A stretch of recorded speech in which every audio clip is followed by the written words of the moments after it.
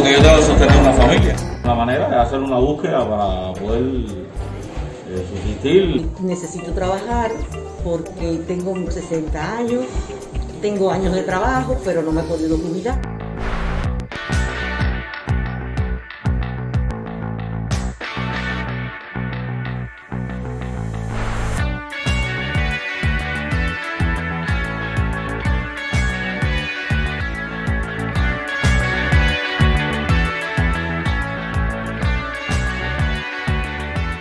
Triunfo contundente, hemos tenido la victoria en la mayoría de las provincias del país, en todas las regiones.